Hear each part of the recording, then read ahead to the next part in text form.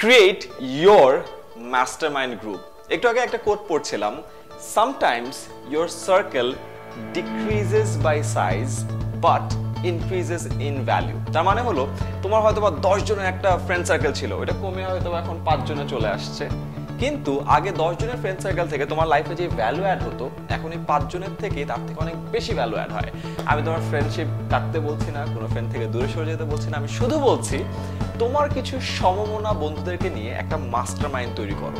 Master mind হলো এমন একটা স্পেশাল গ্রুপ যারা নিজেদের সেলফ ডেভেলপমেন্ট নিয়ে কাজ করতে চায় এবং একসাথে একটা গ্রুপে একে অন্যকে হেল্প করে। কীভাবে? ইজ একটা আইডিয়া দিই। সবাই বই কিনছে। অনেকেই একটা কনসার্ন ভাইয়া, বই কিনতে তো অনেক টাকা লাগে, এত টাকা তো নাই। ইজি করে দিই। মনে করো তোমার মাস্টারমাইন্ড গ্রুপে পাঁচজন আছে। পাঁচজন মাত্র একশো টাকা করে দাও। একশো টাকা করে দিলে পাঁচশো টাকা হচ্ছে। পাঁচশো টাকা অ্যাটলিস্ট তিনটা বই কেনা যায়।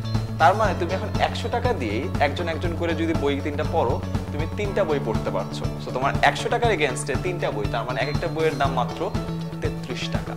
সেকেন্ডলি এই মাস্টারমাইন্ড গ্রুপ একজন একজনকে বইয়ের রিভিউ দিতে পারো। তো দোস্ত, এই বইটা ভালো, এই বইটা খারাপ, এই বই এটা ভালো, এই বই এটা খারাপ তুমি পুরো বই না পড়েও আরেকটা ফ্রেন্ডের রিভিউ নিয়ে বইয়ের কিছু অংশ যেটা তোমার কাজে লাগবে এটা পড়তে পারো। সো রিভিউ নিয়ে হেল্প করতে পারো। তোমরা পাঁচজন মিলে একটা ফেসবুকে গ্রুপ খুলতে পারো যেটা নাম হতে পারে গ্রুপ বুক রিভিউ এবং সেখানে তোমরা যেই সব বই পড়ছো, ওটা রিভিউ দাও। ওই রিভিউ দেখে অনেকে তোমার কাছ থেকে বই কিনবে অথবা অনলাইন থেকে বই কিনবে। এবং সহজ একটা উপায় বলে দিই, এটাকে বলা হলো অ্যাফিলিয়েট মার্কেটিং তুমি যে একটা বইয়ের রিভিউ দিচ্ছ রিভিউ দেওয়ার পর ওই বইয়ের লিংক দিয়ে দাও।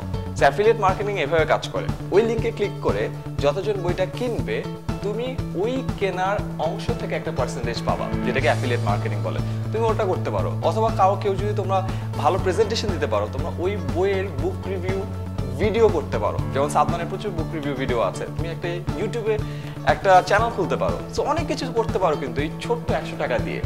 সেকেন্ড আইডিয়া দিই, তোমরা যে ফ্রেন্ড সার্কেল আছো ফ্রেন্ড সার্কেল মিলে একটা চ্যাটিং গ্রুপ খুলো, যে চ্যাটিং গ্রুপে শুধুমাত্র ইংলিশে চ্যাট করবা। দেখবে তোমাদের ইংলিশে রিটেন কমিউনিকেশন বেটার হয়ে যাচ্ছে। আমি আজ থেকে প্রায় সাত আট বছর আগে যখন এইচএসসি পাস করেছিলাম আইএসএসবি তে পরীক্ষা দিয়েছিলাম।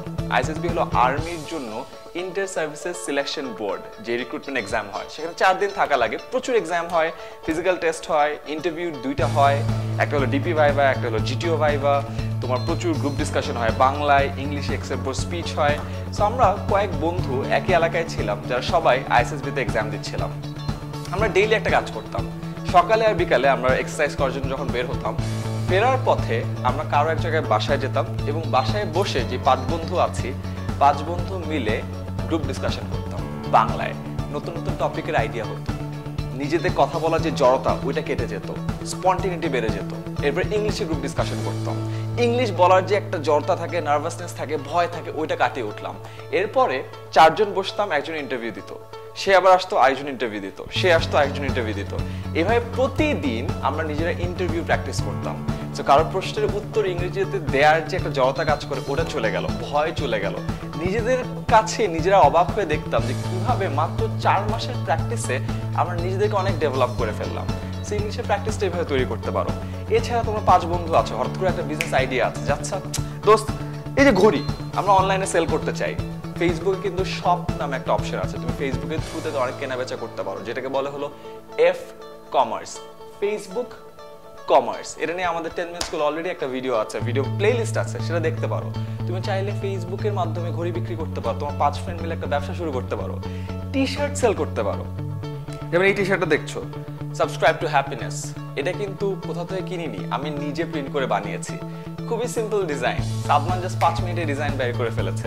প্রচুর মানুষ এটা এখন কিনতে যাচ্ছে। যদিও আমি এটা সেল করছি না বাট আমার যেরকম পাঁচজনের একটা গ্রুপ থাকতো একজন বলতো, দোস্ত, আমি ডিজাইনের দায়িত্ব নিচ্ছি।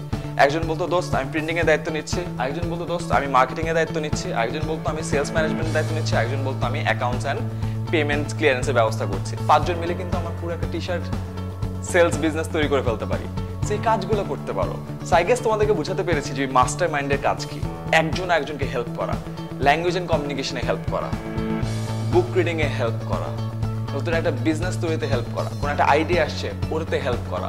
সো একজন মিলে যা করবা, পাঁচজন মিলে কিন্তু আরও বেশি পাওয়ারফুল ওয়েতে সেই কাজটা তুমি করতে পারো। সো এটাই ছিল ওই কোটের মাহাত্ম বা শানে নজরুল, যে sometimes your circle decreases by size ছোট হয়ে আসে, দশজন থেকে পাঁচজন but increases in value and তোমার ভ্যালু যেমন বাড়ে, তোমার সেলফ ডেভেলপমেন্টের গ্রোথও ডেইলি ডেইলি বাড়তে থাকে।